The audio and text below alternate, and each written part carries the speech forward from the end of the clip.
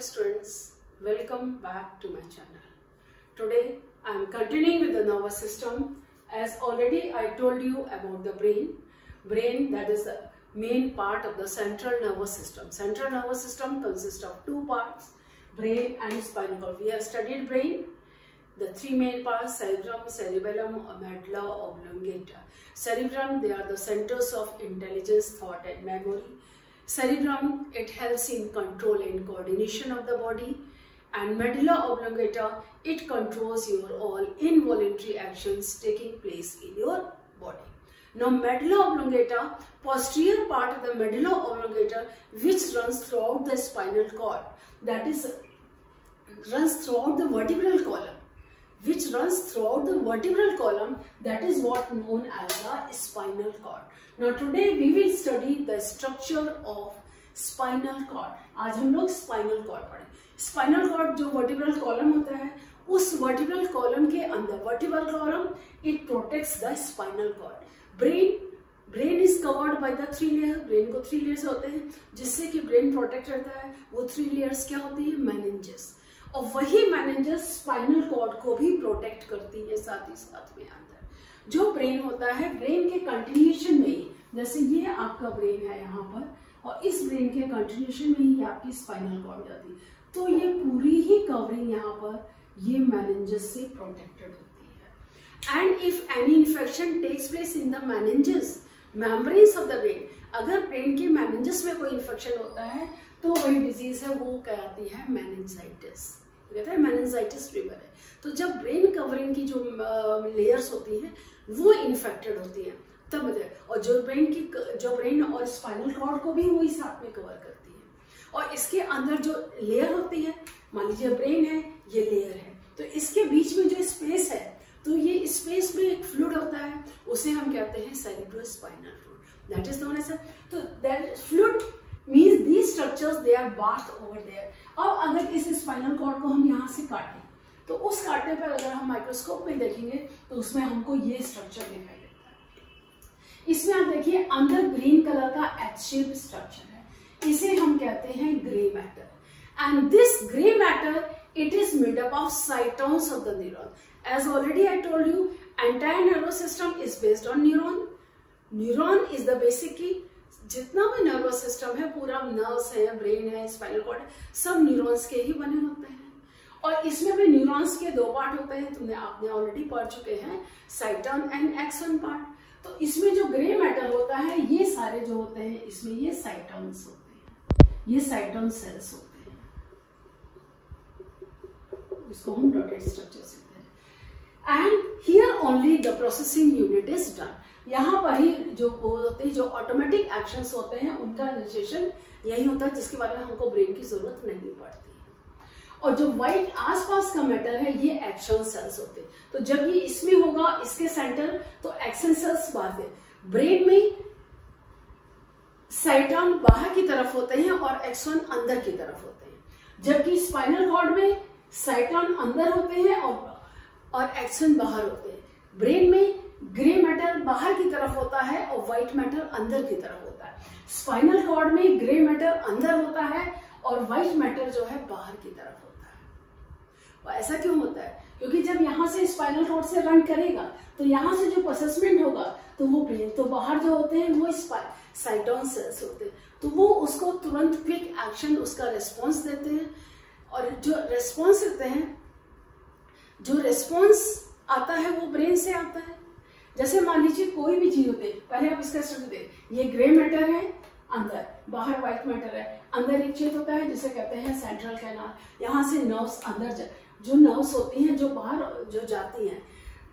Vertebral column 33 तो joints कितने हुए? 32 इसमें आपका first vertebra and your is join with the skull pivot joint and first and second vertebra is also join with the pivot joint तो आपके बाद में बचे 31 तो 31 पेयर्स हर ब्रांच के बाद एक पेयर नर्व्स की निकलती है।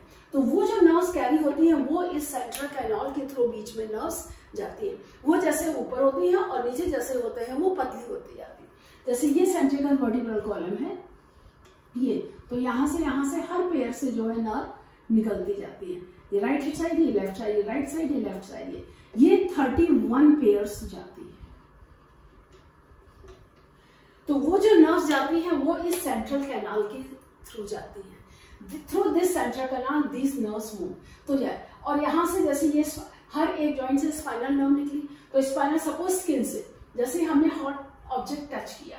तो ये तो हो गया आपका ग्रे मैटर व्हाइट मैटर इसका मेन फ़ंक्शन होता है it send responses from different parts of the body to the brain और spinal cord and from the responses from brain and spinal cord to the particular part of the body यानी कि हमारी body के किसी भी part से message को brain या स्पाइन कॉर्ड तक ले जाना, ये सेंसरी नर्व करती है, और मोटर नर्व ब्रेन या स्पाइनल कॉर्ड ब्रेन या स्पाइनल कॉर्ड से जो भी मैसेज ब्रेन देता है, उसको उस पर्टिकुलर ऑर्गेन तक ले जाना। तो इससे ये एक आर्क बनता है। जिसे हम कहते हैं रिफ्लेक्स आर वो रिफ्लेक्स आर जिसे हमने हॉट टच किया बर्तन गर्म हमने छुआ तो तुरंत हमारे जो ये सेंसरी रिसेप्टर्स है, ये मान लीजिए हमने टच किया तो यहाँ से वेव चली, यहाँ से ये वेव चली, और ये यहाँ पर इधर अंदर आई। The sensation is receive by the receptor cells through receive setter through the nerve it passes here ganglion what is ganglion cluster of neurons That is called ganglion. Ganglion cluster of neuron. जो lower vertebrates होते हैं, जहाँ brain नहीं होता है, वहाँ पर जो डिसीज़न होता है, वो उनके गैंग्लियंस प्रेजेंट होते हैं। तो गैंग्लियन भी क्या है? एक तरह से ब्रेन का ही एक पार्ट है। That is the cluster where the slight judgement is turn जहाँ बॉडी ऑर्गेनिजम्स बहुत छोटे छोटे होते हैं। उसमें क्या जैसे आपका कॉकरोच है, बहुत छोटा होता है। तो कॉकरोच का ब्रेन गैंग्लियन के फॉर्म में होता है। तो यहाँ गैंग्लियन क्या होती है? इट इज़ ए क्लस्टर मतलब न्यूरॉन्स का एक गुच्छा होता है। इस न्यूरॉन्स के गुच्छे से यहाँ से बन हुई। यहाँ से ये ये है डॉर्सल रूट और ये है ventral root this is the dorsal root and this is called the ventral root यहाँ से reception when you touch the hot object by your skin and muscles, the sensitive neuron pass through it. यहाँ से sensory neuron से nerve गई। यहाँ पर Pasi ganglion इससे अंदर स्पाइनल कॉर्ड में आया because they are the reflex action all reflex action they are covered by spinal cord not by the brain all reflex action they are covered जैसे जो आपने कट किया, तुरंत हटाया। तो जो ऑटोनॉमिक ऑल सिस्टम्स होते हैं, वो स्पाइनल कॉर्ड से कवर होते हैं।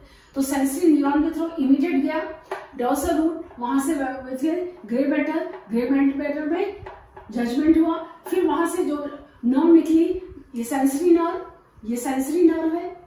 और जो यहाँ से आया फिर ये जो मैसेज वापस उसी जगह इफेक्टर में गया पैरेलल उसी के साथ। तो ये इफेक्टर में ये है motor neuron this is the sensory nerve and this is motor nerve और मोटर नर्व के थ्रू सेंसेशन इफेक्टर सेल्स में गया तो उस हाथ को हमने हटा दिया। And this process takes in parts of seconds parts of seconds में ये रिफ्लेक्शन पाथवे होता है। that is the reflex pathway how does it occurs in our body and that is the word by spinal cord gray matter white matter central dorsal fissure ventral fissure ये जो ब्लडस्ट होते हैं dorsal root ventral root dorsal horn ventral horn gray matter it is made up of cyton cells of the neuron white matter it is made up of action cells तो जब ऐसे method से तो central में है आपके साइटॉन्स neurons तो आप तो जो ये एक्शन सेल्स होते हैं न्यूरॉन्स का पार्ट एक्शन सेल है तो जो एक्शन सेल बाहर की तरफ़ होंगे तो ये बाहर की तरफ़ आपस में इधर से क्रॉस करके इधर से नर्व्स में इधर उधर भी जाते हैं। जैसे ये सेंटर पार्ट है, अब इसमें देखिए, ये सेंटर पार्ट यहाँ तो आपका ग्रे मेटल गया, और साइड में आपके एक्शन सेल्स हैं। तो ये एक्शन सेल्स तो ये बीच में हो गया ना तो ये हो गया, ये आपका हो गया ग्रे मैटर ये है आपका व्हाइट मैटर तो ये व्हाइट मैटर एक साइड से दूसरी तरफ़ भी क्रॉस होकर के नौ साइड्स में जाती है। तो ये आप हायर क्लासेस में इसका डिटेल पढ़ेंगे। तो that is what it goes तो यहाँ से ये रिफ्लेक्ट तो that is all called the reflex pathway reflex arc reflect arcs आपका स्टिमुली टच किया, वहाँ से आपने रिसेप्टर ऑर्गन से, यानी कि सेंसरी नर्व सेंसरी नर्व्स के through the message goes to the brain और स्पाइनल कॉर्ड यहाँ पर ब्रेन है, या spinal cord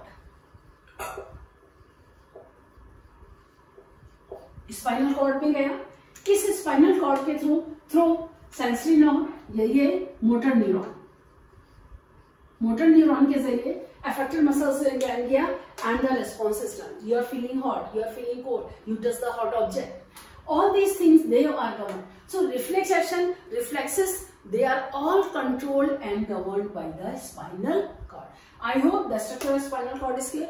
You know the reflex pathway and how this goes. Receptor से, sensory neuron से, डॉर्सल गैंग्लियन से होते हुए यह डॉर्सल रूट के थ्रू स्पाइनल कॉर्ड में एंटर हुआ। यहाँ पे जजमेंट हुआ। That is the connecting neuron through connecting neuron the message passes from sensory neuron to the motor यहाँ से जो निकली ये आपका मोटर न्यूरॉन है। और इस मोटर न्यूरॉन के अफेक्टेड सेल्स के थ्रू फिर ये वापस गए। ये आपकी जहाँ पर दोनों ज्वाइंट होती हैं they are the spinal nerves which are coming on that we will study in the next period. Next class I will tell you.